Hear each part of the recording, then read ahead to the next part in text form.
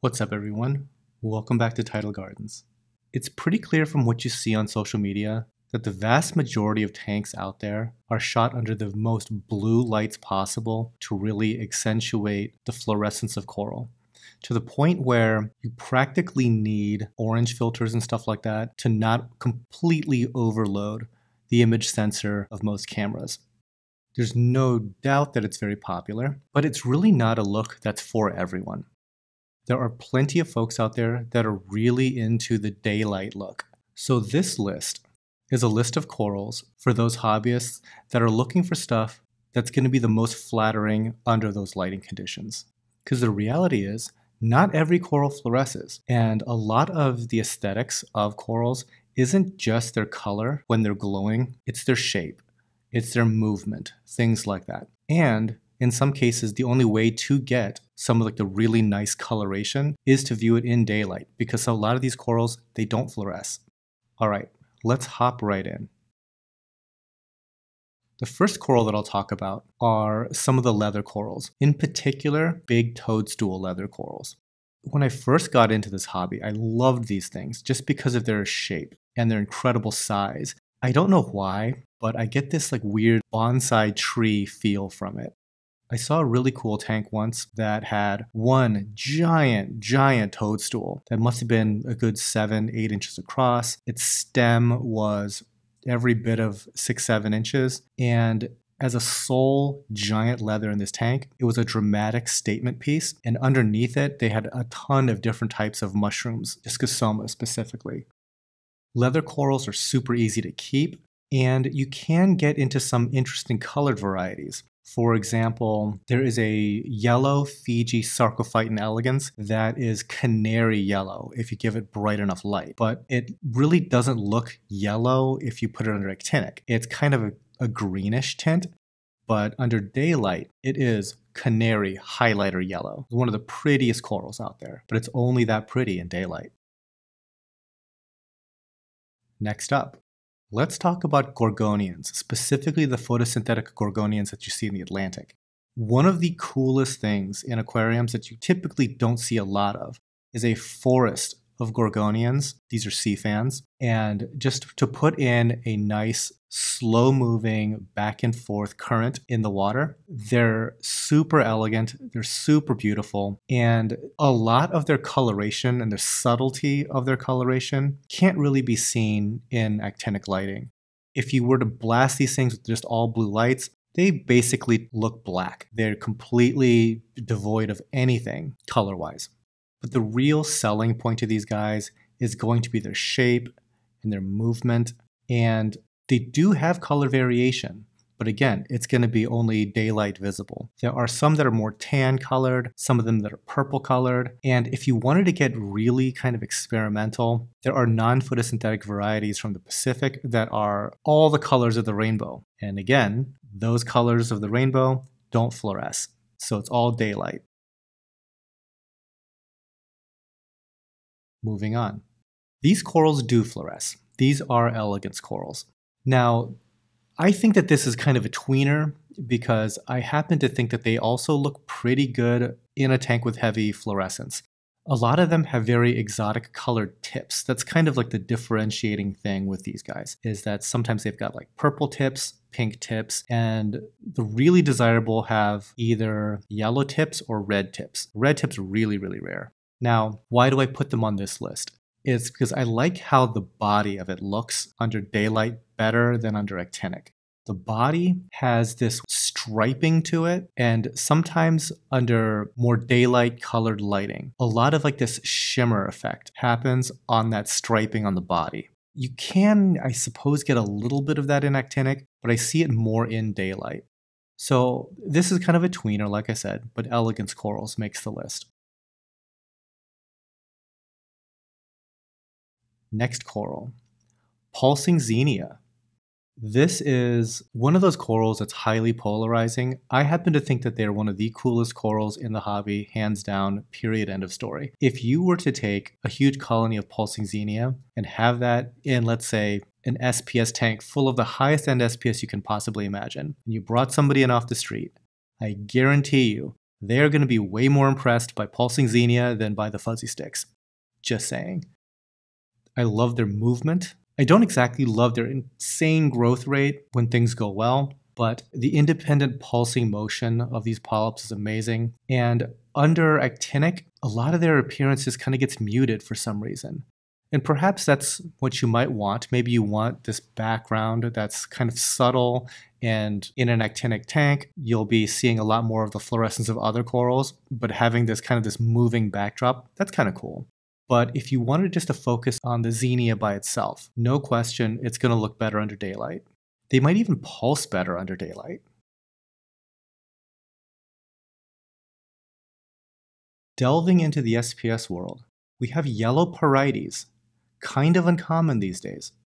Porites are one of the few corals that are really, really yellow. I mentioned that toadstool leather before. This is another one on that list. The cool thing about yellow porites is that when you blast it with a lot of light, they do develop this very, very, very yellow color.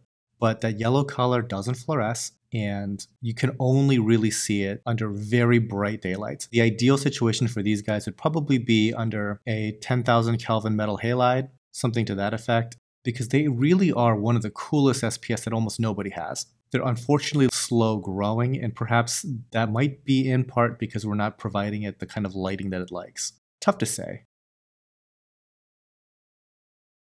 Staying with SPS, I'll talk about what we call a rainbow stylophora.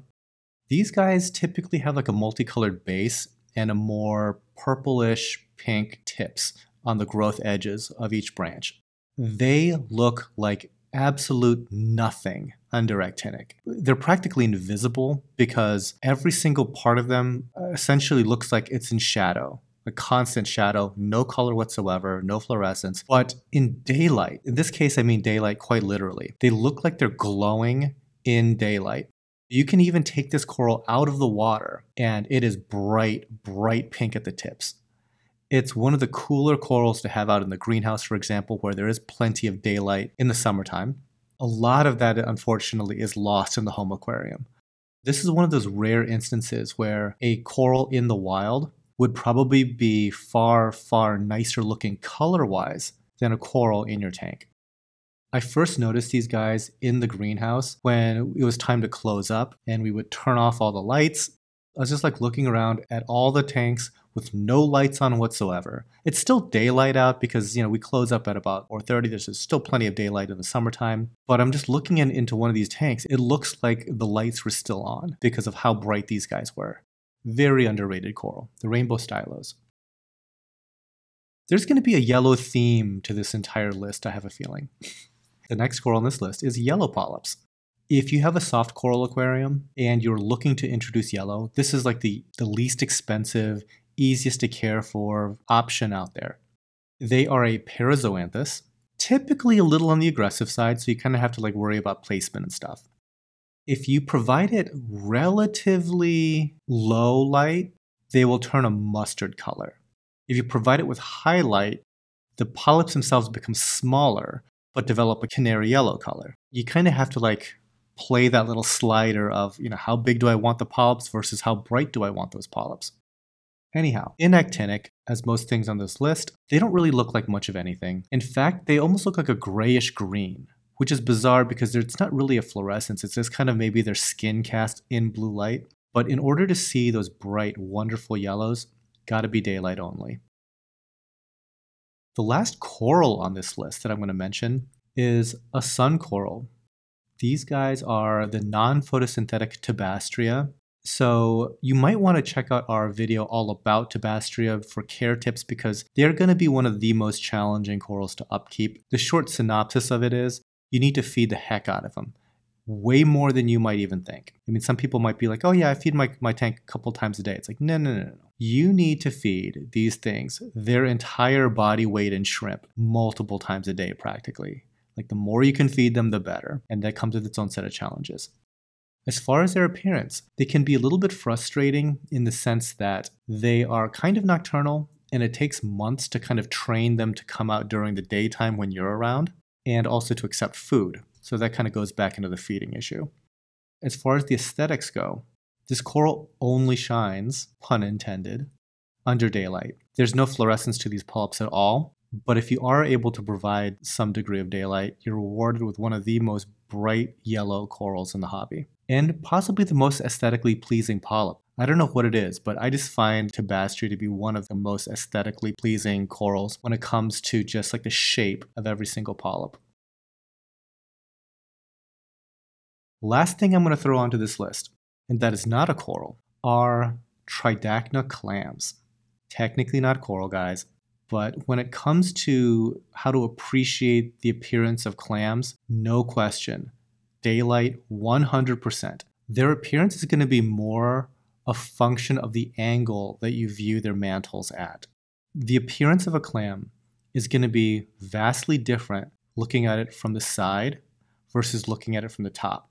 There really should be a blog out there that shows the difference of angles. So maybe like um, somebody could do a thing directly at 90 degrees to the glass. Maybe they have a specialized tank with a 45 degree pane, shoot it at 45 degrees, and then top down through the water. Because the coloration is so different that it might be difficult to, to identify which clam is even which clam based on the photos.